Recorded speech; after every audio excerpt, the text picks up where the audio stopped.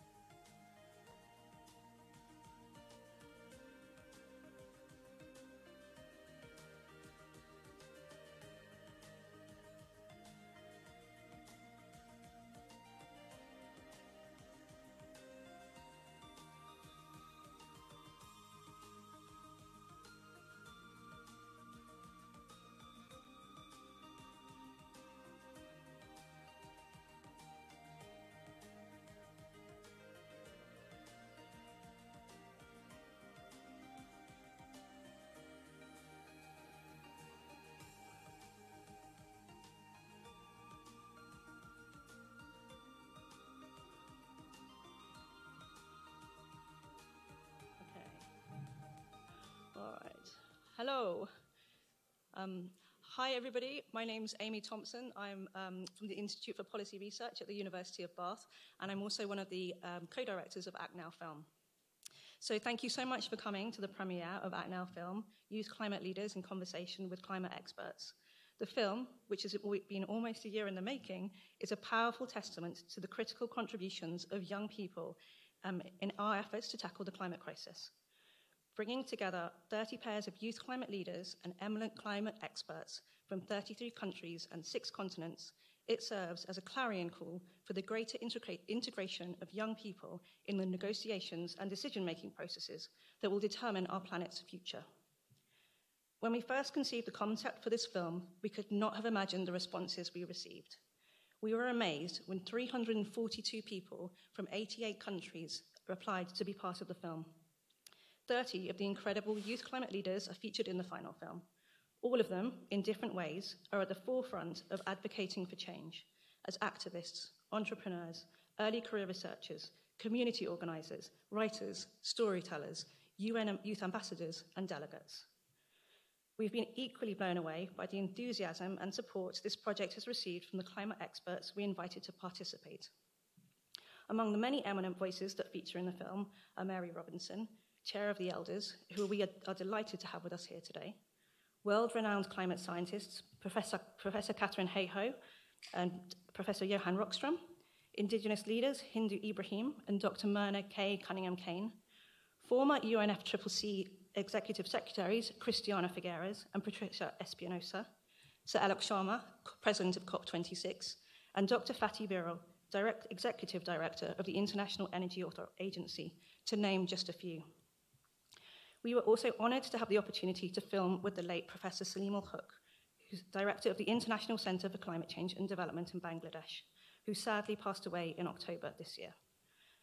Professor Huq was a giant in his field and a tireless champion for climate justice, passionately advocating for those most vulnerable to the impacts of climate change. We hope that this film can make a small contribution to amplifying his work and legacy. Act Now Film is a project that is very close to my heart. Initially conceived in the run up to COP26, it is now running in its third year.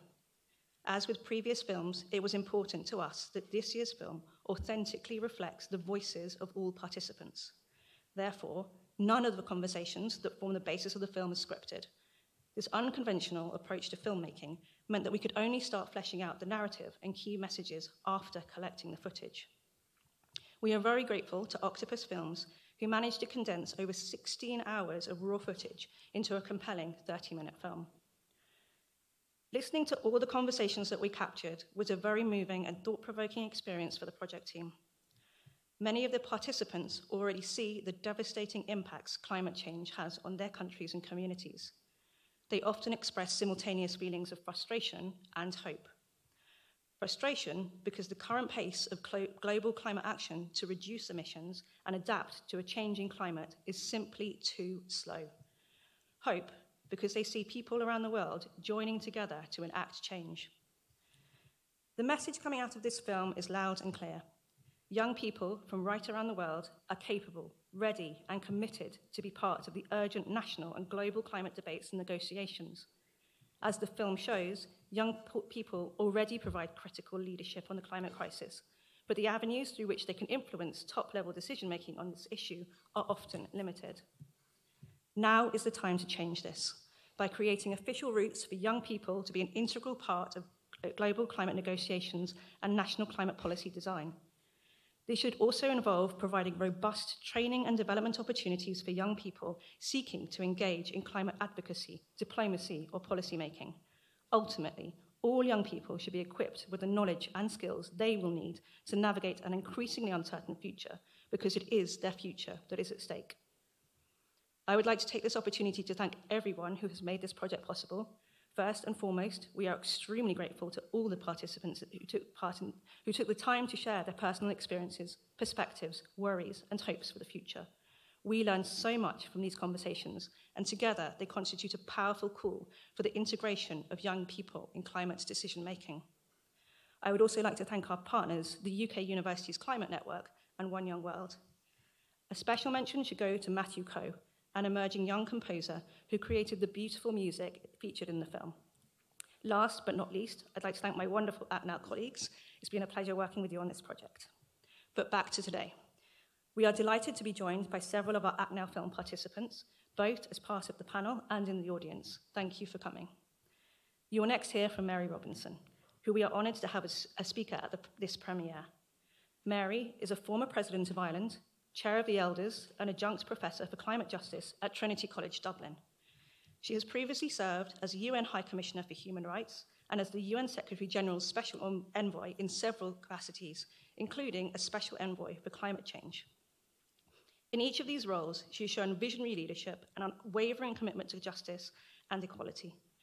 Mary is a strong advocate for urgent climate action, delivered in a just, inclusive, and fair manner, and through intergenerational dialogues and as demonstrated recently, she is not afraid to speak truth to power. It's a great pleasure to welcome you, and uh, thank you so much. May I introduce Mary Robinson?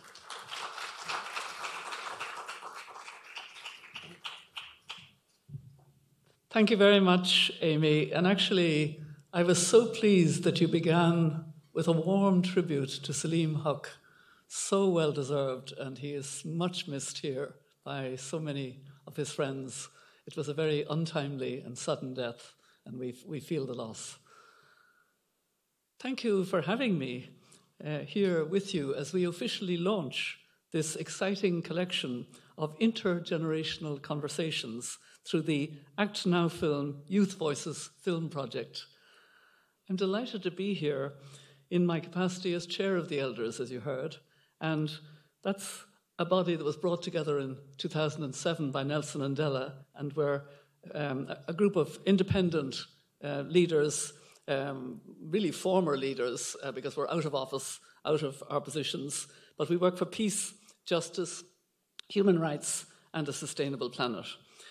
And when Nelson Mandela founded us in 2007, I was there at the very beginning, he issued a mandate for, the, for our work. And the mandate given to us as elders more than 16 years ago offers, I think, many powerful calls for action that are still critical today as we consider tackling the ex- existential threat of the climate crisis. First, Madiba said that it is kindness and generous accommodation that are the catalysts for real change. And I want to bring these values to the fore as we begin our intergenerational discussions today. We need kindness and generous accommodation in the conversations we have with one another. If we're to stand any chance of turning the tide on the climate emergency, then we need all of us. We need all of our energy, all of our resources, and we need the wisdom and leadership of every generation we need to create spaces and opportunities for honest conversations that are inclusive of all voices. And that's why I so welcome being a part of this film series. However, as we see once again at this COP, the majority of those given seats at decision making tables are older people. And if we're being perfectly honest, still largely the case, it's men who take up some of the dominant places. We've made some progress, but children and young people are still largely excluded from shaping their own future. And this, after all, is the day for youth here at the COP, so it's very appropriate we're having this conversation. And furthermore, we still have a long way to go in ensuring the voices of other marginalised groups are, uh, that they're represented at the conference like, uh, conference like this one. In our elders' mandate, Mandela instructed us to avoid becoming, and I quote, arrogant or arbitrary, and to ensure that we're focused on finding solutions to the shared global challenge that we face. These words would be well heeded, I believe, by governments here at this conference, this COP in Dubai. We must avoid the arbitrary or tokenistic inclusion of young people in climate forums and processes. People in powerful positions must be prepared to step aside to make space for children and youth. Why? Not because the children are our future, not because young people are the leaders of tomorrow, but because our children and young people are also the leaders of today.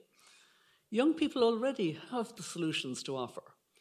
The elders support initiatives such as the Climate Youth Negotiators Programme, which trains, connects, and empowers youth negotiators to participate meaningfully in the UN FLCCC processes and negotiations. And I've had great conversations with those young climate negotiators, with my colleague Zeid Al Hussein, as well as another elder. And uh, they've been really, really good because these are young, smart people, and we, we've encouraged them to take initiatives with their delegations, and they're prepared to do it. So I ask all of you here to check to see if your government is including young people in their COP28 negotiating teams, and if they're not, then urge them to do so in the future. I want to recount a final phrase from our mandate as elders.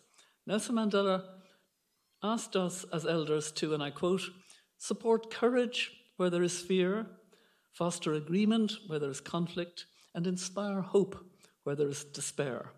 And I want to ask the same of all of you, of all of us in this room today. What is more, I want to ask this of our leaders, our heads of state, and our governments.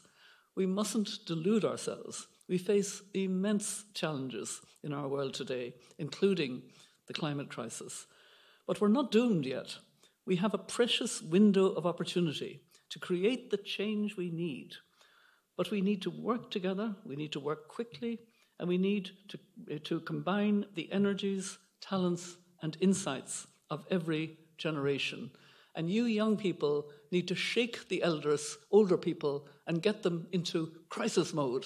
Do you hear me? Crisis mode in dealing um, with the issues. And now I look forward um, very much to watching this film. Thank you.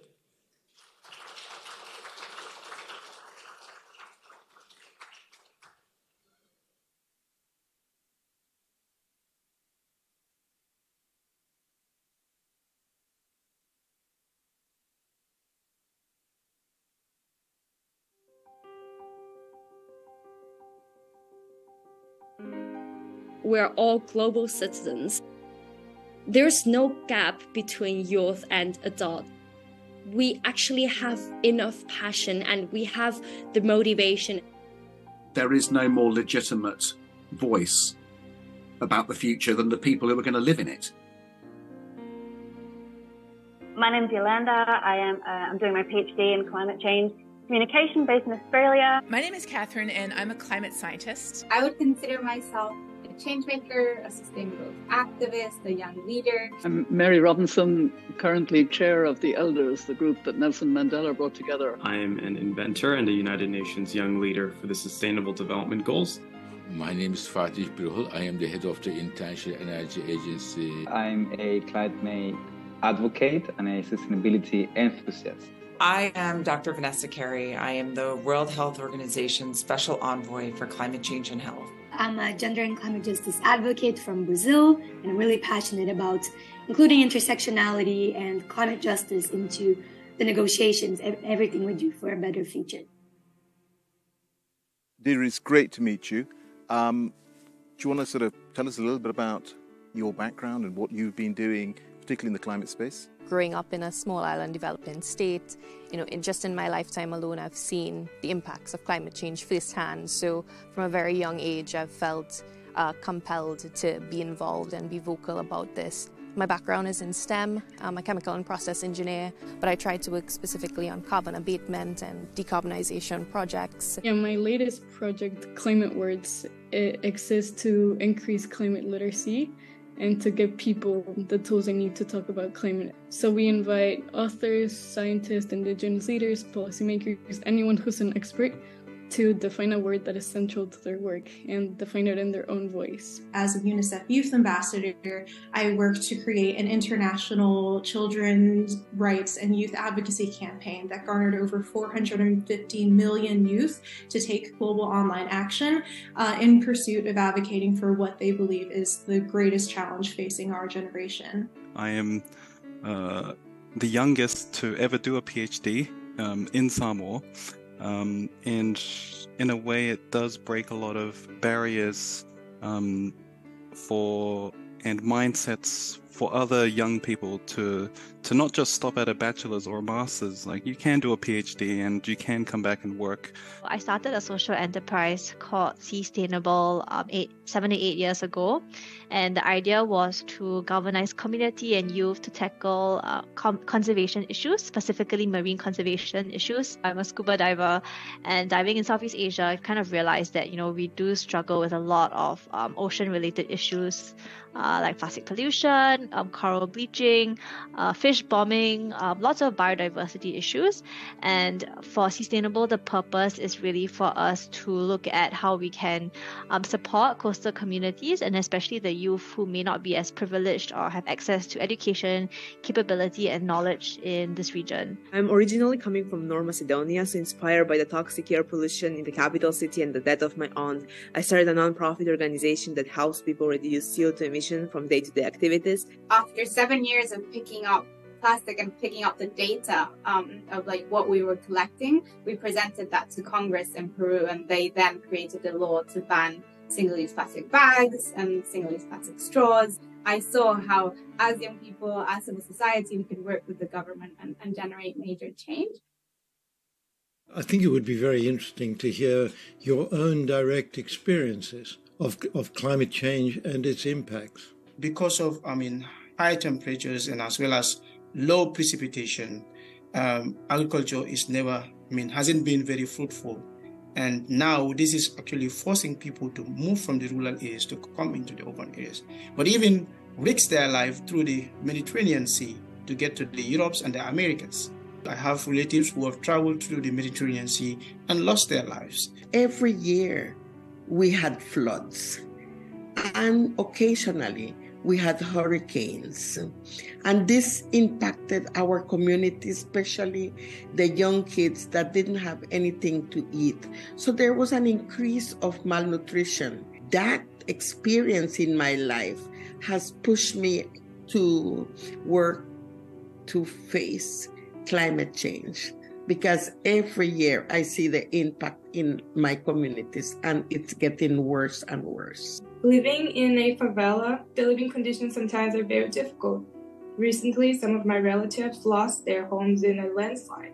Because of climate change, there are levels of rainfall that we have never seen before, and droughts that are so long, and, and the soil just can take it. And more and more, I see this happening in Brazil, this happening with my community.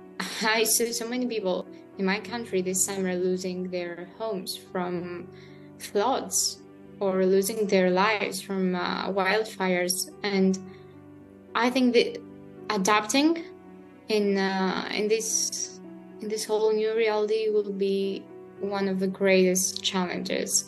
And uh, it's not only the the practical stuff that we should take into account; it's also the the mental um, burden that we have as a generation. Growing up, I used to wake up quite early to have to go to school, and I would see just you know just above the mountains just a thick layer of smog during winter. It came to me that this is not just a natural occurrence, this is in fact also pollutants coming from the factories. That realization that the textile industry is polluting the environment, that was maybe my catalyst in, into the environmental space. The climate crisis is a health crisis. It just doesn't get more fundamental than that. And health is how we feel and and understand, I think, at a really personal level, what the climate crisis is doing. And I think what people don't realize is that the way the climate crisis impacts the health crisis actually has an impact on other sectors, right? It's impacting whether, you know, if you get sick, it's a difference between whether your household lives above or below the poverty line. It has impacts on migration, on women and children who disproportionately suffer. And we know that countries that are already vulnerable and are the least contributing to climate change are those that are feeling the impacts the most currently. In all our communities as indigenous peoples everyone have someone that lost their home. From the desert advancing from the drought from the floods from the sea level li- rising like what are we waiting for? What what do you see as the biggest barriers and obstacles to taking fast enough action on climate change that a lot of solutions are on the table but a lot of times it takes so much time to create those decisions that when they come to being implemented, the time in which they are implemented really changes the way that it gets implemented. So I think if it's implemented at the right time, most of the solutions can turn out to be very, very successful. And even if not successful, you can really understand what went wrong because the situation in which the solution was built and it is implemented is the same. Seems to me that, one of the biggest challenges we face is is, is what you might call a crisis of, of perception uh, across Western societies in particular, where, you know, o- over centuries, not even decades, you know, we've become progressively more distant from the natural world and we become increasingly uh, unaware of the extent to which our entire civilization depends upon healthy natural systems. A lot of times folks, especially as they, they come into positions of privilege, lose sight of these fundamental values of, you know, being empathetic, having moral values or a commitment to transparency, because they're often forced to prioritize their interests for the their stakeholders or their financiers over their over essentially their constituents or the people on the planet. We will not solve the climate crisis unless we put people at the center. Um, not just about uh, for our developmental policies within our countries or within our cities or within our villages, but also internationally. That we often have this dissociation between uh, high politics at an international level and fractious negotiations where we forget what are we even at the table for and who are we claiming to represent. I do think governments should be held more accountable for their commitments. I think there should be greater transparency in their reporting and um, and their targets. You know, their progress to these targets as well, because you know, for for years, um, you know, 2015 and the Paris Agreement. That's a long time has passed since then. What actual concrete action has been taken? If we really want to operate within a safe and just space, which we all collectively have a responsibility to move toward, then there will be um, per necessity a transition of, of access to carbon, nitrogen, phosphorus, water, land, biodiversity that has to be made more, uh, let's say, accessible for, for the vulnerable and poor, uh, while uh, the rich minority has to change behavior. In Mexico, we have a very huge um, challenge. I don't see that the people, regular people on the street, are aware of the climate crisis it's very disturbing because um, the country is very, very um, uh, vulnerable to climate change.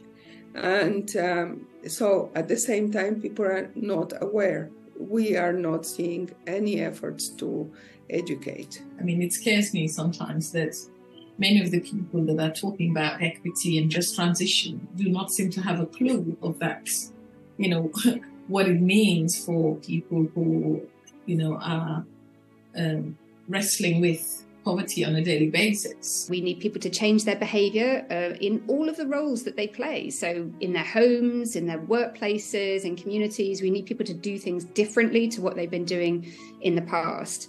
And we need more wider kind of social cultural change actually. We need to change our relationship with with things, with consumption and with the natural environment without fixing the problem in uh, the energy sector, we have no chance whatsoever to reach our climate goals. When governments tell us we should be turning off the lights, it ignores the fact that they're still funding new fuel, uh, oil and gas projects, right? So um, I think um, where we see action on a larger scale um, and where structural um, barriers to individual existence are removed, I think that would be really helpful.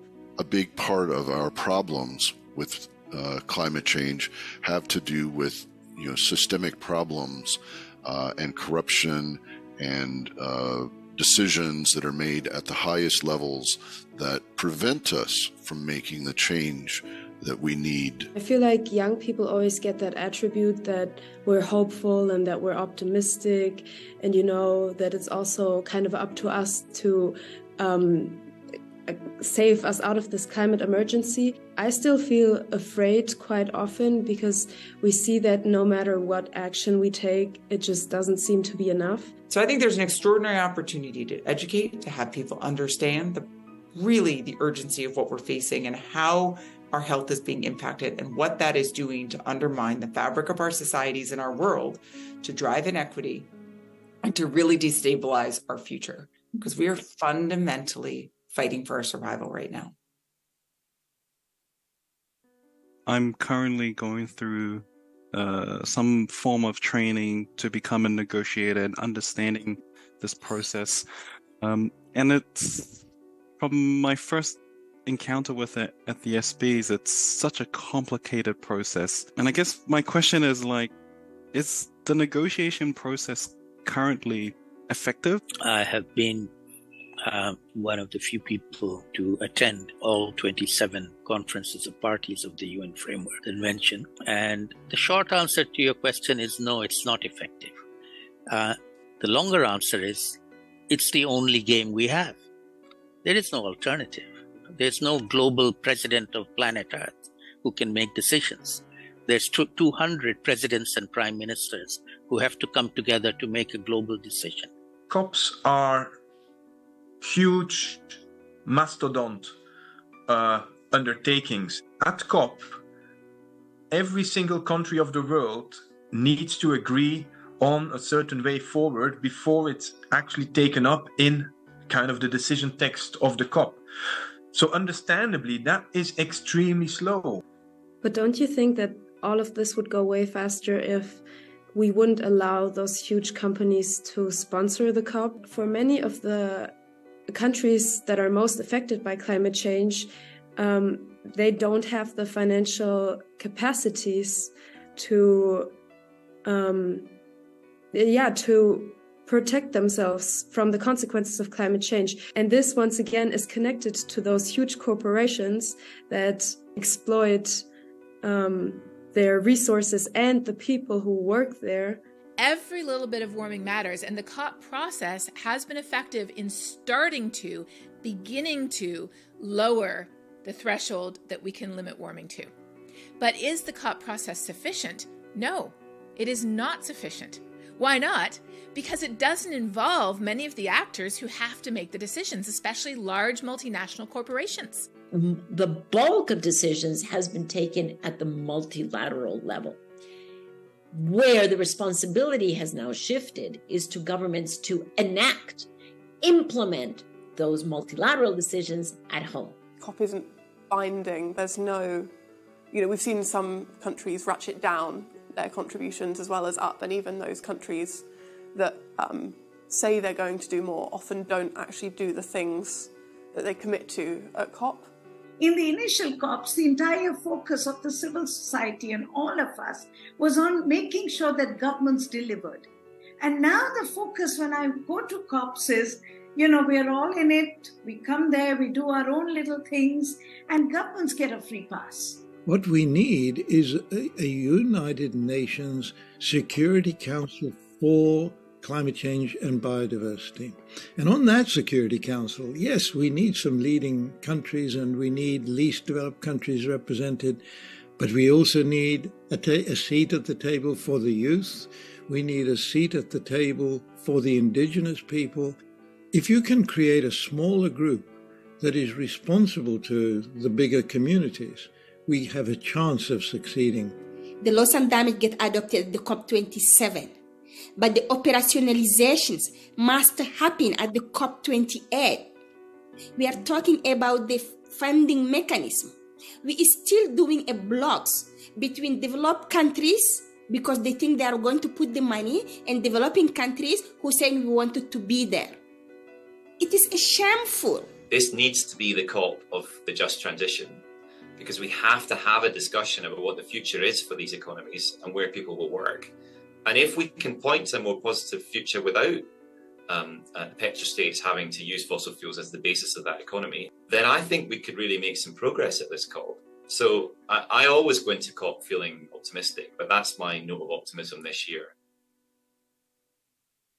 How would you like to raise the profile of the work that uh, the youth of the world are capable of doing and pulling that youth movement together so that you can have the impact that is needed?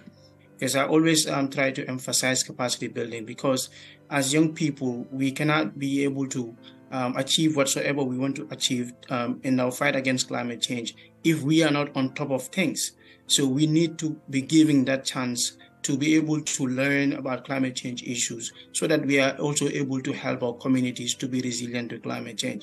Part of this fund, loss and damage, or also the, the developed nations, the rich nations, should uh, start developing top level universities all over the world, uh, technological institutes that would really start forming, doing capacity development of thousands of thousands of young students like yourself for really facing the climate uh, change challenges. Education is just seen as something very elitist, something for white people, something for rich people. The first time I had the opportunity to apply for a scholarship at a private school, I was 11 years old. I had to wake up at 4 a.m. every day to go to school. People pointed guns on my head, uh, going through violent, very violent places to be able to get what other people, what for other people is just so simple. Listening to youth is not enough Insights from the young leaders must be utilized to transform policies and programs. Without any tangible actions, you realize that youth may have few seats at the table, but those seats have no real meaning. It's important to have young people's voices in terms of helping set the ambition, but it's also really important to have young people's voices in the room where actions are being scrutinized as well this isn't just about having people at the table. It's also about ensuring that we have that diverse selection of youth. So, conducting surveys, ensuring that youth have a space to talk, and ensuring that people actually have that follow up and follow through from our leaders where we see that the ideas that we want are actually implemented. We should have a lobby that pushes for more youth inclusion at all levels. If you're not in the table, you are part of the menu. If we think about year two, 2100, which is until when many of the projections um, are targeted, I won't see year 2100, but many people alive now, like young people, will. And since it's it's the, the future of the of young people, so I think it's essential that the young people also have a say in what happens. Young people, they've understood they've they follow the knowledge they recognize the facts and and are much much more in line with the state of evidence than um, than my generation and an elder. I believe that uh, young voices need to be not only at the table but officially and in numbers at the table um, as delegates as participants whose voices matter. Given the diversity of young people and our ability to organize and collaborate across different geographies is a very powerful thing and it fosters a lot of new ideas and, and thinking and cross learning. Young people, yes, will, will look at issues quite differently, in my experience. Uh, they will come up with new ideas and things that haven't been tried, but also, really importantly, they won't be kind of so jaded uh, and um, at the idea of trying something again that perhaps has tried in the past. My advice to young people is don't wait to be invited. Always be there to assert your own space. You have the wisdom, you have the perspective, you have the connectedness, and I think you have the passion uh, that will truly allow us to expose the cracks in the system. I have big hopes for, for the youth. What gives you hope to continue in this fight? What gives me hope is when I see people acting together. Representatives from all across civil society are all coming together to recognize that the climate crisis, to care about the climate crisis, you don't have to be a scientist, you don't have to be an environmentalist, you don't have to be an activist, you only have to be a human being living on planet Earth.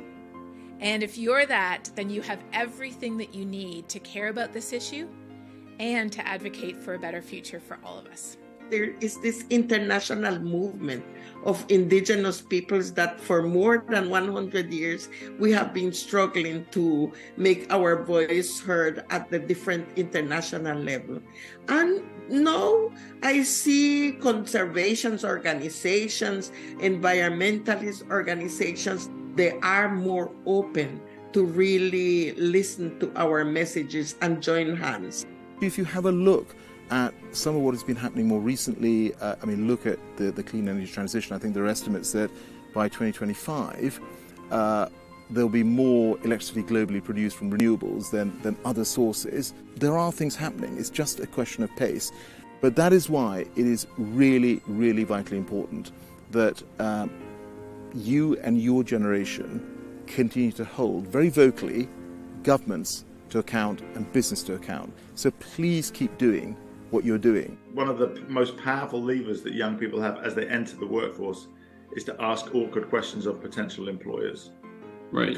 and you never know. You never know when you're one, you're the one that just triggers the boardroom conversation, which says, "You know what? We had another brilliant young engineer turn us down this week, and I think it's because we didn't have a good answer to the question, "What are you doing about climate change?"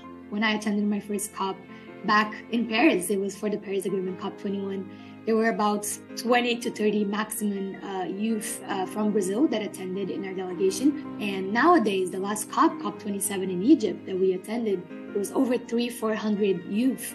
A lot of them were Black youth uh, from peripheries of all over the world, but including, of course, in Brazil, in the favelas, and also indigenous young people that are kind of reclaiming now their power into these spaces, accessing those spaces. So it gives me so much hope and strength to continue in this fight to see that these spaces are opening up, that people are willing to collaborate, that people understand the seriousness and the big challenge that we have as a community, as a planet. I think one thing that really gives me hope is the fact that young people, you know, aside from being activists, they are trying to engage in the boardrooms. They are scientists, they are entrepreneurs. They're really, you know, going across all these different sectors and and industries and working to create such impact within. And I think that's something that I, I try and learn from my peers all the time. I find hope in the actions of youth that we are brave enough to take governments to task. There's so many interesting cases of climate litigation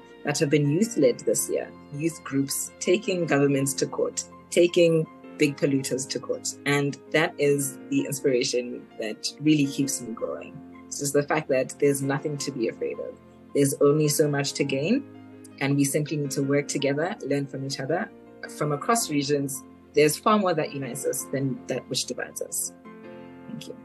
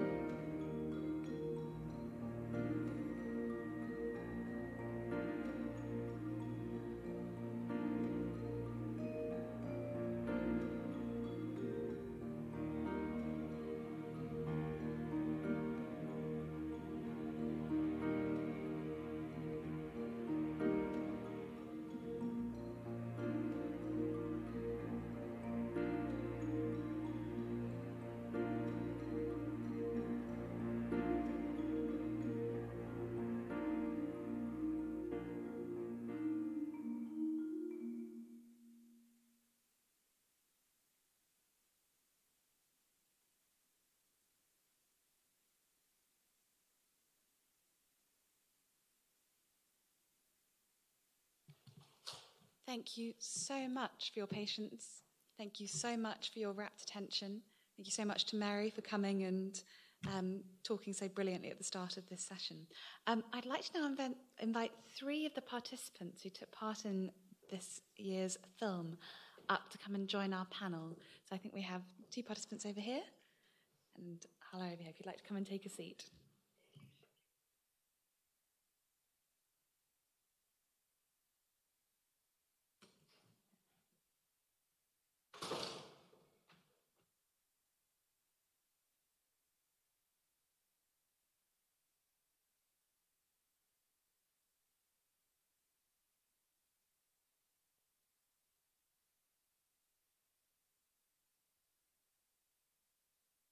Wonderful, thank you. So we're going to be joined in a second by Amy T, uh, Amy Thompson, who also helped produce and direct this film. Um, I'm going to start by asking each of our participants uh, to introduce themselves and just say a couple of words um, about what it is they're doing um, that caused us to invite them to take part in this film or to make them want to take part in this film. Uh, so we'll start from this end and then work down the row. Over to you. Thank you, Amy. So I'm Hala Hamawi. I'm a PhD uh, candidate at Nottingham Trent University. Uh, my focus is climate finance politics. Um, and I also um, work with Global Green Growth Institute as a climate finance senior associate. And the third hat I'm wearing today also as a climate activist, uh, where I launched an initiative to increase uh, awareness about climate change through social media. Um, so I think the this film is beyond what we presented today, because the process we went through, the discussion we had with those uh, seniors, and ha- like more than ten years, uh, like Sunita, who I interviewed, had around 30 years of experience, and she was there since 1992 and the Earth Summit. The discussion was about one hour, and it was uh, beyond the script that we prepared. Um, it, may, it meant a lot to me, and I believe as well to other young who participated. Um, yeah, this is it from my side.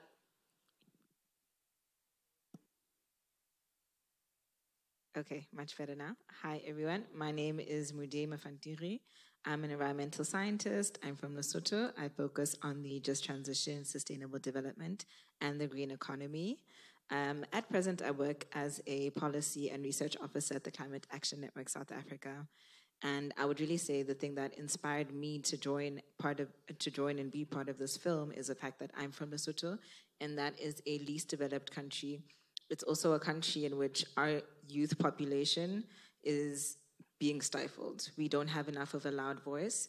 We don't have much of a presence, let alone um, at a global platform such as COP. And so I was really inspired to be in this film to sort of, you know, be a part of changing that narrative because for far too long we've been almost the forgotten country in Southern Africa. A lot of people think that we are in fact part of South Africa, and that's not the case.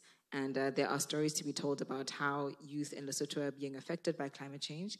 There are also stories to be told about how we can, in fact, contribute to global solutions to address climate change. Thank you. Um, hi, everyone. I am Dauda Cham. I am from the Gambia. I'm in the west coast of Africa. Um, I am the Deputy Executive Director of um, a youth led NGO called the Household Disaster Resilience Project um, Help Gambia, which focuses around environment and climate change issues. Um, but also, I um, work with um, other organizations in the international space. I'm also a UNICEF Young Voice from the Sahel, um, where we talk about the problems that the Sahelian region of um, Africa is really faced with. the Gambia, where I come from, is a low-lying country, and uh, it has been listed by the IPCC as one of the 100 most um, climate vulnerable countries, and top 10 when it comes to um, sea level rise and coastal erosion.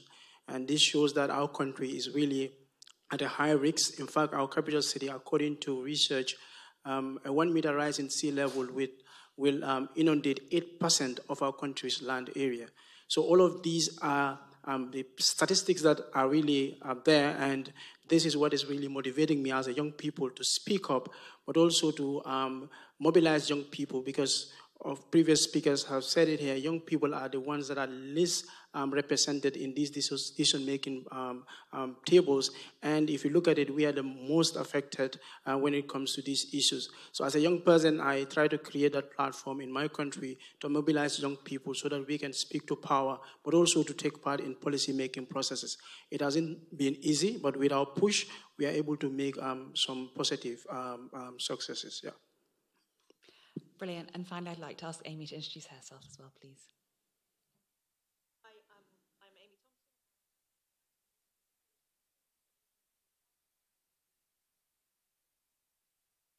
Thompson. Uh, and finally, I'm Amy Munro-Faure. Uh, I lead on education and student engagement work uh, as part of Cambridge Zero at the University of Cambridge. I'm really honoured to have such a wonderful panel here today. Um, there's a slight change from the advertised lineup. Uh, Brighton very sadly couldn't make it, and Hala um, has very kindly stepped into the breach to take part in this panel today, and we're delighted to have her. So I've got a question I'd like to ask all of you, and then we'll go to the audience uh, for some questions. Then I've got a few more depending on how we go. So the first one kind of comes from today, and it's part. It's to do with what this film is calling for, which is about inclusion of youth in party negotiations and the negotiations of all parties. Um, and there was some really interesting research that was pre- presented as part of the Dubai Youth Climate Dialogue this morning, looking at the different levels of inclusion in different parties in different countries. Um, so, what I wanted to ask is what do you think in your own countries are the things that need to happen to enable that meaningful, non tokenistic participation and inclusion for young people to take place within your own parties? I don't want to put anyone on the spot, but if anyone wants to put their hand up to go first, that would be great. Great. You can. I think to start with, uh, we need to be in the same room as our parties. It's incredibly difficult, and I'm speaking from experience, to to reach our negotiators. And this is, you know, the first and most obvious challenge uh, from meaningful youth participation in these negotiations. The second thing is that we would definitely need to uh, be recognized as people who have valuable contributions to these negotiations so that we can get accreditation. Because one would think the biggest challenge to coming to such a conference as COP is, is funding, and fundamentally it's not. You might find it's far more easier for someone to fund you, but the challenge is that you don't have accreditation. And it would be most helpful if our governments could you know, do what they can by giving that accreditation to youth that are qualified and to show some faith in youth. Because I see this, uh, you know, sort of an assumption, and this relates back to our cultural context, that we are not ready to make these contributions, uh, that we are not quite ready to be in the same room or sit at the same table. And these are the things that need to change. These are the social cultural things that need to change. Fantastic, Mede. Dauda? Yeah, um, thank you. So maybe I will just come in the positive side. Um, for the past um, years, um, it has really been difficult to have young people being part of our party delegation. But in the past two years, that is starting from the COP27, to um, our engagement as young people and the mobilization of ourselves. And this um, shows that when we mobilize ourselves and we are united, we are powerful uh, we mobilized ourselves and then ensured that we had what we call the local conference of youth. This was introduced to the country by myself because I've been in Youngo for the past four to five years, and I've seen that the LCOYs have been taking place in other countries, but the Gambia has never had such.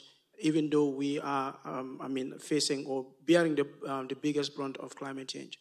So I decided that we bring the LCOY to the country.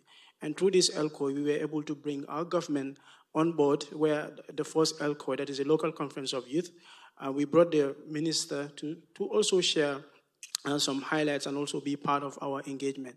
And during that conference, we've committed the minister to see how best they can work with young people so that we are part of these policy-making processes that they do.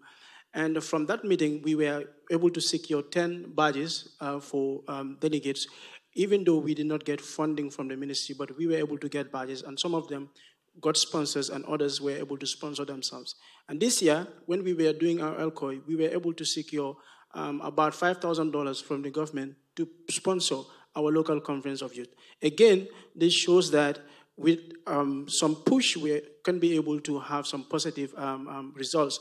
And this year, I am part of our party delegates. As you could see, I have a party badge, and I've been following negotiations, um, even though I am not speaking because it's my first time following negotiations. But I've been attached to one of our lead negotiators on finance, and also to, during one of our sessions um, in our pavilion, the Gambia Pavilion. This is the first time we've got a pavilion. For the past um, years, we were, um, had a session on how best can we have um, a structured program of young negotiators, where young negotiators will be recruited, so that those that are there, when they uh, when they retire, there could be a succession plan that some of us who are also coming up could um, succeed them. And this is a commitment that the ministry has made. And once we are back, this is going to be one of the things that they will put in place. That is to have a structured program where young people like myself are going to be trained on climate negotiation. Thank you. Brilliant. Hala. Uh, if I want to speak about my country, Jordan, uh, I think since I started working uh, on climate change, I've seen more inclusion to youth. Um, but still, I would say there is a need to systemize or like set a system how to include them. Like if there is selected number of youth would speak on behalf of the rest, they need to understand what is the needs and priorities for everyone. Um, and of course, I agree uh, that coming here is not easy. Uh, finance to be part of decision making is not easy. Um, it is good that we are here. We're trying to contribute, whether like through the film or um, some of us are there in the negotiation but I think that we are the one that are mostly affected by the decision are being made today, and we are yet not really included in the decision. Um, so yeah, there is more work needed, uh, but I see that the more we raise our voice, that we need to be part of it. I think we will be heard at the end. Um, so our role is to keep pushing right now. Fantastic, thank you. So some common themes that seem to be running through there. Um, there's a need to be in the same room. There's a need for accreditation and access, basically. There's a need for um, what I'm going to write down as institutionalization, but systems to ensure that young people are part of that system from the very beginning. And there's maybe a need for some training about how to demystify the COP process and how to really engage so that that process of having to go through obs- your observing negotiations order, that you can get to know that process much more quickly and that can be sped up. I'd like to throw this open to the audience for some questions now. I think there is a roving mic, so if you could put your hands up, um, and we'll start just down at the front here. Thank you.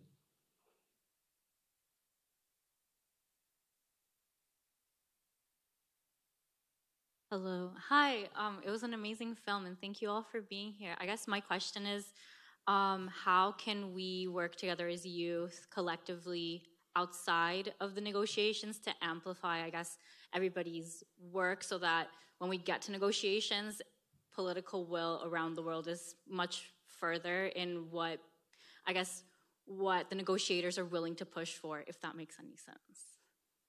Fantastic, thank you. So, this is, as I understand it, really thinking about how to work together outside the negotiations to amplify political will such that by the time we get to the negotiations themselves, the groundwork's already been done and the decisions become easier. Um, who'd like to take this? Start off with.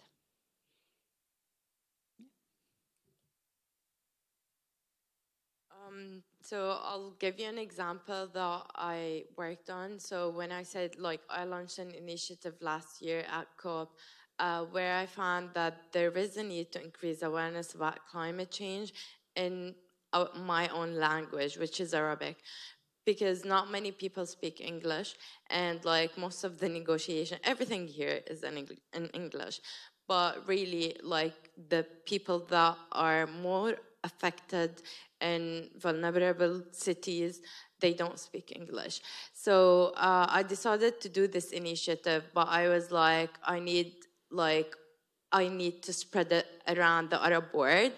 uh, where there is now 11 volunteers from different countries, from Arab countries, uh, are like creating content in Arabic, simple language, as well, not too technical, uh, about what is climate change, what as an individual we can do, um, what is COP, what is happening around the world as well. Uh, so this type of initiative that can be done um, on a regional level, sometimes on a local uh, on a local level, as well as a global. And definitely, there is a lot of platforms, international platforms, where you can work with other youth on different like research capacity building. So i think there is a lot of opportunity to collaborate. And you know sometimes you just when you meet a person from another country you decide to work with them on you know uh, writing a blog about climate change. So these little things matters a lot. Fantastic. Thank you Dauda yeah, I think um, I would just want to answer this in, in respect to a training that we have done um, for the past uh, four to six months, I would say, as part of the International Youth Delegate Program. And that would be um, around um, finding your allies in this, because when you go into the negotiation rooms, you have um, groups of people who have the same interests. Like the challenges that we are faced with in the Gambia, probably similar to that of Senegal, Mali, and others than um, compared to what the United States is facing. So you um, have to, in a way, um, be able to know who really you share the same problems or concerns with, form an ally with those people, and then you can have some concrete um, stands so that when you get into the negotiations, you are able to defend those um, um, interests that you have. So that's what I'm going to say uh, with regards to the question. Yeah. Thank you. Um, I would say, uh, on top of uh, is this working? Yeah. Um, what the panel have said is um, to talk about what you're doing and inspire other young people to take action. So all the people in this film started somewhere, and it might have been Inez behind you collecting rubbish from the beaches in Peru, or it could have been Pamela uh, who started up Climate Works. It starts somewhere, and if you can inspire someone else to actually take action and believe in themselves and their idea, then that's amazing. That's the beginning of their journey. And then that will grow and inspire others. Um, I just want to say I, completely agree with everything that everybody has said. Uh, let's not uh, maybe underestimate the importance of local action because before we come to COP, I mean, we have to gather at a local level. And there's so much strength in that because, firstly, that is a place in which you are, one, familiar with, Two, more it, might be more easy for you to relate to the people within your local area. So if you can join any sort of youth network, it doesn't have to be a global youth network such as Youngo, but it could be, you know, a local a local community. That is where you can start to maybe put together what your positions are your priorities are and then you can now advocate and also push for that at a local level. You can speak to your local governors and you start your action way ahead of COP so that by the time you get here, you have something that you've established that you can stand on, that you can refer to. Thank you. Wonderful, thank you. I'm going to throw it back out for more questions. Uh, there's one down at the front here.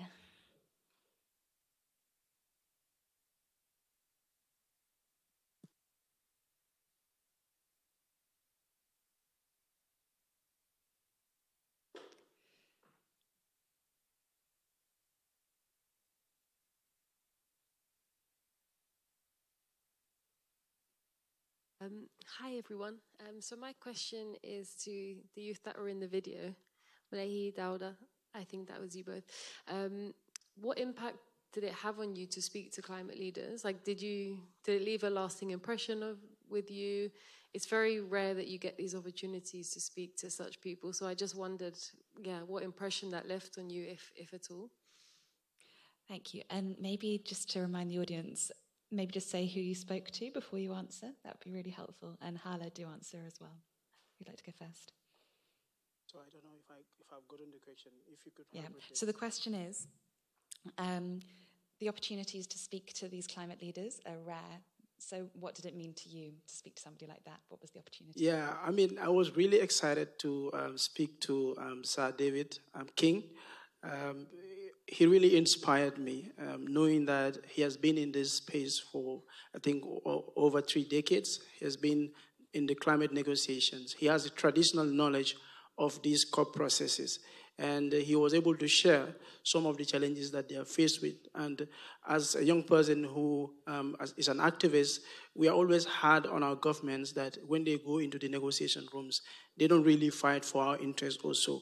But knowing the processes that are involved in this, uh, I, think, I mean, we have all seen in the video that sometimes it just um, take like one or two countries who, uh, to disagree on a point, and that would not be put into consensus until everyone agrees. So all of those things delay the process, and then I've been able to understand that our governments really they try, and as much as they also um, also have some faults, and as young people we would keep um, um, putting them to account, but also um, knowing what Sir David did um, for the past years as a young person who is really interested in um, policy making processes. He inspires me, and I see myself getting to the level that he is, and even probably um, beyond that level. So that is a kind of an inspiration that I've gotten from him.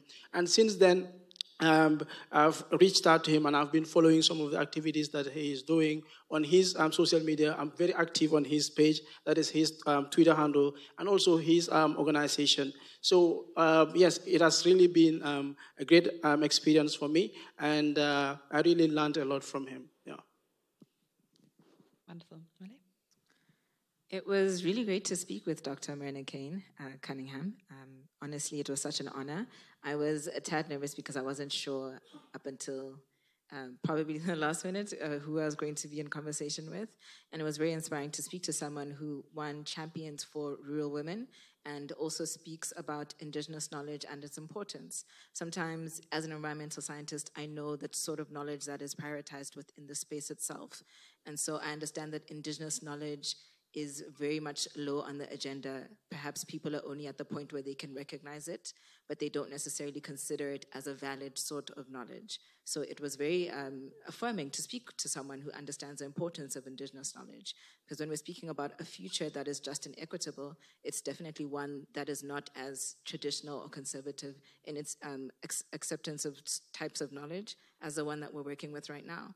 So it helped me imagine a much more holistic future right? So what if, as an environmental scientist, I wasn't limited to the sort of data that is only in textbooks?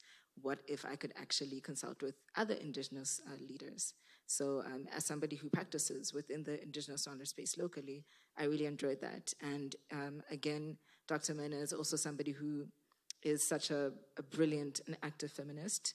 Um, I hope that in my old age, I'm someone who still has the passion for women in that way, because it's, it's so critical and it's so important to never lose sight of the, the people who are most vulnerable. Thank you. So basically, I interviewed uh, Ms. Sunita Narain, who's the head of research center in India. And as I uh, mentioned before, um, she was there since 1992 uh, on the Earth Summit, with, which made me like realized that I'm talking to a legacy in climate change. Uh, she was there when they were talking about setting the convention. So um, it meant a lot to me.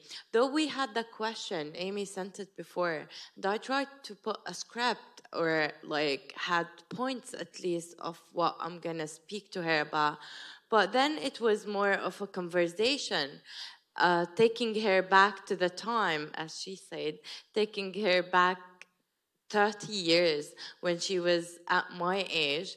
And for me, uh, trying to like imagine what it would be in 10, 20 years later. Um, our review was not really different about the negotiation. And as uh, Dr. Saleemul Huq may his soul rest in peace, say that there is no one hero to lead the negotiation.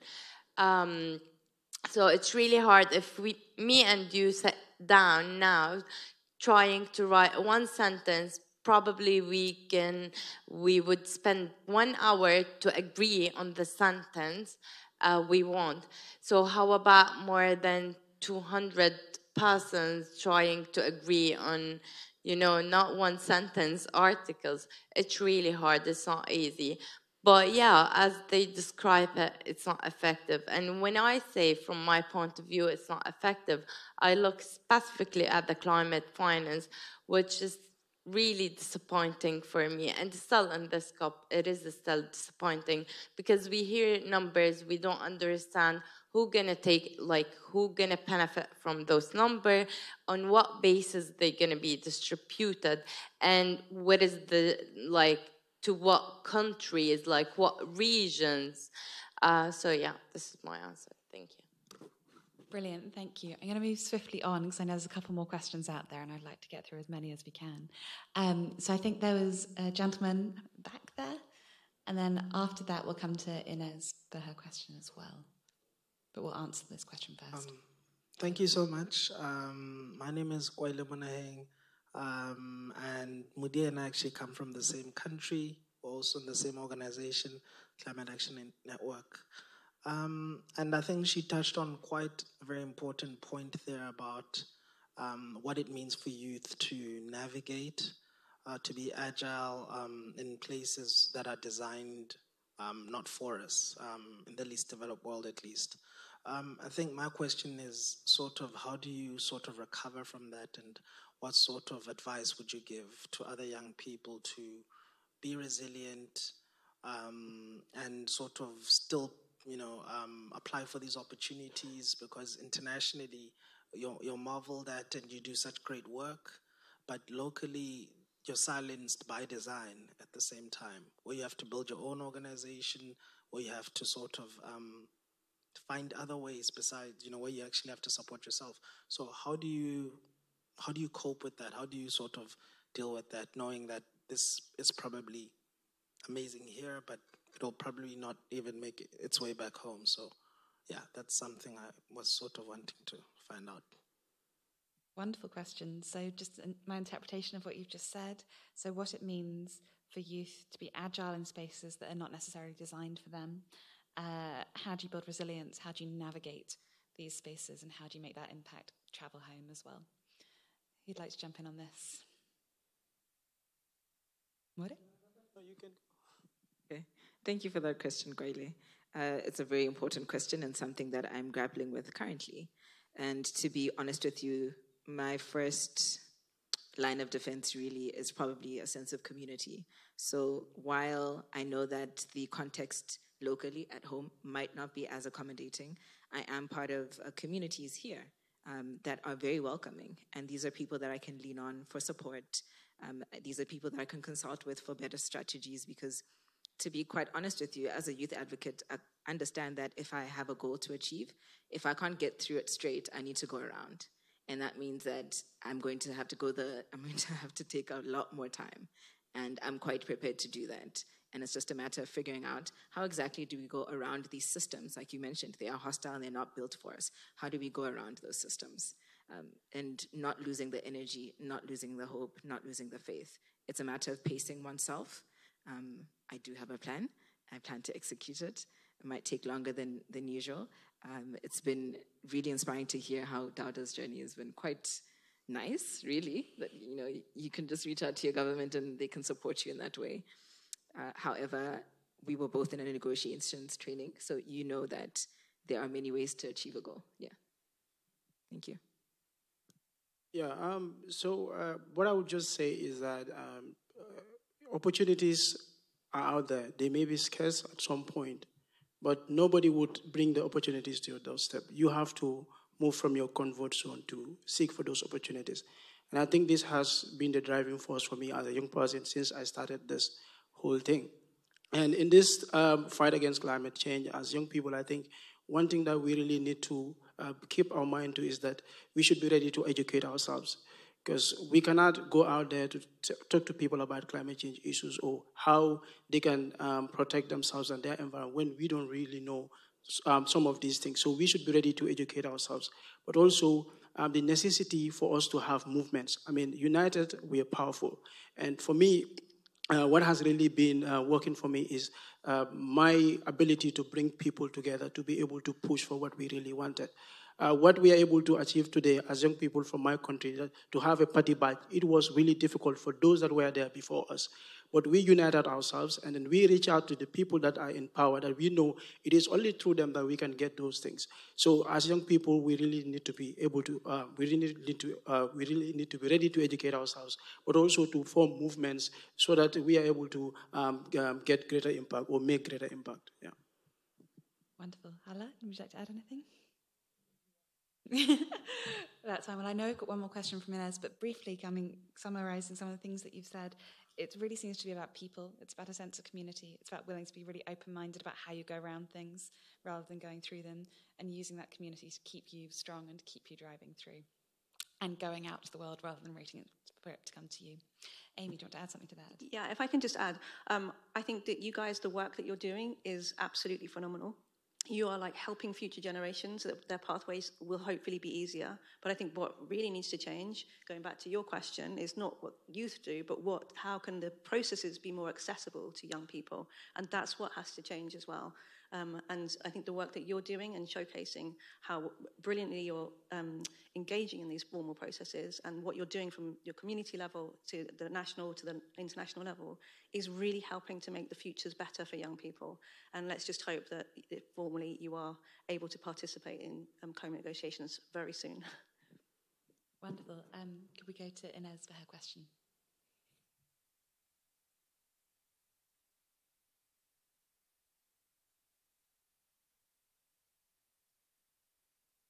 Thank you. Um, it's been great to see the work that you've done uh, come to the screen. And to answer a question earlier about what it felt like um, to speak to Christiana Figueres, it was like we're in this together, right? But it was mentioned also in the film that we are a small group, and I think all of us here agree that climate change is a huge issue that we should try and help solve. But my question to you is how do we get to those who aren't yet at that point? And there are many leaders, all the leaders we spoke to agree with us. And so that's why it was a great space to converse and talk. Um, and of course, we have challenges in communication with those leaders, but there's some way in between getting to the point we're at as well. But there are many leaders who aren't and who it's harder to get to, and many young people who aren't as well in this climate space. So, how would you suggest uh, that we reach out to them? I think the film is a great way to do that, but are there other ways as well? Brilliant. So, how do we reach out to those people, both leaders and maybe young people, and maybe people more broadly who aren't already engaged with this and aren't already fighting to change it? Who'd like to put their hand up for it? Yeah, Mode. you having this conversation?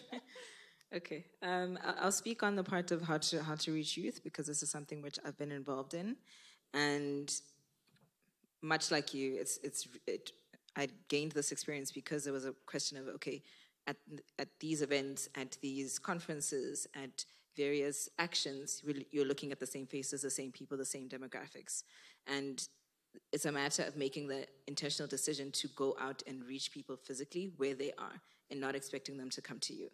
And that means that you need to broaden the scope of your work, really, because I know this having worked in an organization uh, that focuses a lot on building movements. We can be quite limited in our thinking and our reach but it's a matter of connecting with other people as well, other organizations, and doing things differently. So if we are used to perhaps only hosting things online, um, I know that the Climate Action Network does really well with this, which is that there is uh, there was a trend that was noticed that there's not a lot of online participation, and the barrier to participation was actually access to internet and all we needed to do was purchase the data so that people can join these meetings you know and that is a, an example of meeting people where they are right so offering data support so that people can join and then learn more about climate action and different things that are being done in their communities and having to perhaps translate complex uh, policy to people to make it quite clear that actually this is an issue that affects you because sometimes people aren't aware, right? Like you mentioned, they, they are not in the space because they don't know that they're in fact affected. And at times, the way in which climate change is communicated it seems like a distant and a, a large thing that is far from people, far from the local context. And you need to make the, the effort to localize that context. So, yeah, big focus on climate education and bridging that digital divide amongst, amongst other access issues also transport support. Uh, I did host an LCOY South Africa this year with the support of very many generous organizations. And we were big on making the whole thing far more accessible. And that included giving transport support to people who were not maybe vocal at first that actually they cannot come to conferences because they don't have the transport locally. It's very hard for people who don't have financial means to admit to that, but uh, you know, opening that that communication channel helps a lot. Yeah. So it's just fundamentally being considerate, yeah, and thinking differently. Um, yeah, so in terms of access uh, uh, for people, uh, I think she has mentioned one of the powerful tools is social media. It's really easy um, to get people together on social media. But I think for me, in terms of access, getting access to those that are out there, that is the leaders who are making the policies or the actions, uh, what really worked out for me is um, in my organization, what we do is whenever we do activities, if at the end of the year, when we have our um, report and so on, we don't wait for our ministries to ask for the reports also. What we do is we go to them to communicate to them what we do. So that way they are aware of what you do. And this has really made it easier for me to get co- connected to some of these people because they know that, okay, this person is not only doing this, because some of them, they are out there in their offices, they don't know what is really happening in the ground. So it is us that have that direct contact with the communities, and we are the ones who really know what those communities are facing. So, yes, I mean, as young people, in as much as we are fighting for change and all of that, we really need to go like I said, move out from our comfort zone to go look out for those opportunities that are out there, but also to get to where these decision making people, uh, um, where those that make decisions are, are, are, that is in their offices, reach out to them, explain to them the things that we are doing and what you really want. Because um, sometimes um, I have this problem with young people. We argue um, a lot, we make a lot of, uh, uh, say a lot of stuff, but sometimes we are not really constructive in what we do. So, how best do we engage the people that we think, okay, these are the people that are making this decision? It doesn't always have to be, um, we have to be harsh on them all the time, but engage them because you, what you need as, as, as, as activists is to ensure that they are on your side because these are the people who implement these policies. All you can do is you have an advocacy role. All we do is most of the times is talk, you know, we do actions and so on. But at the end of the day, the implementation of the policies and the programs are solely done by those people who are in power. So if you don't have them on your side, then that becomes a challenge. So go out to them, I mean, communicate to them the things that you do so that they are able to understand what you do, and then you can be easily um, able to um, get them do what you really want them to do. Yeah. Uh, well, uh, one thing I would uh, talk based on experience that uh, especially those who doesn't have accessibility to any resources, um, so referral or what we call the snowball like you know someone would tell someone is a way to you know get that information spread. Another thing that i mentioned earlier we have language barrier in many regions. So accessibility in different language is really important. Um, uh, the third thing, which is I think to some extent nowadays is important, is social media. We use social media for many things, but it is important to like you know if in matter if we're talking about awareness, we're talking about, um, you know, uh, advocacy, social media. I think it's also a platform to use. Um, yeah, that's it. Wonderful. Amy. Um, I think just to add, if you if you go back to COP26 when youth engagement was really kind of started happening, um, and uh, there was, that's where it kind of really started to galvanize. And then you look at what happened in COP27, and there was the youth pavilion, and it was like people were starting to take more notice. And then you look at this COP, and it's the largest youth delegation of any COP. And this morning I was at the um, Youth um, Climate Summit, um, and it was absolutely brilliant. There were so many presentations from young people who were so articulate and held that space and were just like did, did such a good service to the young people you represent. Um, and I think just keep going. And the, the, I can't remember the exact phrase, but the phrase that the young people kept saying is to climate leaders is we, to the negotiators, we trust you to take action. It's not, it's slightly wrong, I've misremembered it, but it was along those lines. And I think that's an absolutely brilliant and very powerful strapline because at some point you can switch it to we don't trust you. So if you keep going to these negotiations, keep doing the work that you're doing, it will galvanize and you will start to bring more people on board because they will see the impact you're having and the amazing work that you're doing. Wonderful, thank you. I'm going to wrap up the Q&A there, but just to finish off in a final couple of minutes, I just want to pull out a few themes that sort of seem to really arise both in the film, from Mary's comments, and from some of the things that you said. And I wanted to focus briefly on four things. The first one being the role of kindness and community. The second one being listening and going to people where they are. The third being courage to challenge with new ways of thinking. And the fourth one being hope in action, not just hope for hope's sake, but hope in action. So to briefly run through those kindness and community, I was really struck by the way in which all of you picked up, especially on the point around spaces that aren't designed for you, the role of community in upholding each other.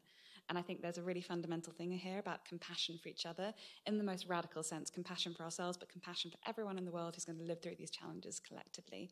Um, and I think that some of the things that you said brought that out really, really beautifully, but also the necessity of that in order to drive this action, in order for these communities to be galvanized.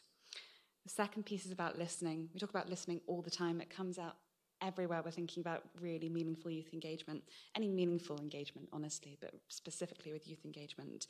And again, I was really struck by the theme of, especially when you're engaging with people who aren't already engaged, going to people where they are, understanding what their access issues are, whether it be data, transport, language, really minimizing those barriers to be able to have that level of connection and enable people to engage. Thirdly, the courage to challenge with new ways of thinking, or even to pick up ways of thinking that have been explored before and discarded for whatever reason because they, were t- they felt too hard or it wasn't the right political moment. And the amazing role that young people, and all three of you who are sitting here, and others who are in the audience, and all those who are in the film, have to really drive that and have the passion and the energy and the drive to push that forward and to have the courage to challenge. I think that was something that came out really strongly in some of the things that Mary said. It's particularly topical for her in the last 10 days, but having that courage to challenge convention. And then finally, the importance of hope. And as I said, not hope in a generic sense, but hope in action. Hope in having young people whose futures are going to be defined by these environmental challenges sitting at the table. It's so clear that all of these young people here are credible, capable, and able and should have a place at these tables to actually make these decisions and to drive that forwards, both at COP and at home within their own countries as well. Um, thank you very much for listening. A huge thank you to our panelists um, this afternoon. You've been absolutely wonderful by taking part in the film and today. And thank you to our audience for all the questions. I'll stop there.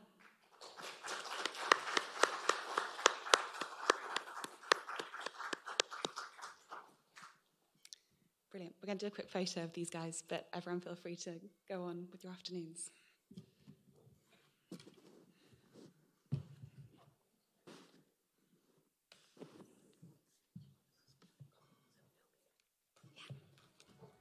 Um, could anyone else who is involved in the film who's here come down and we'll take your photo too?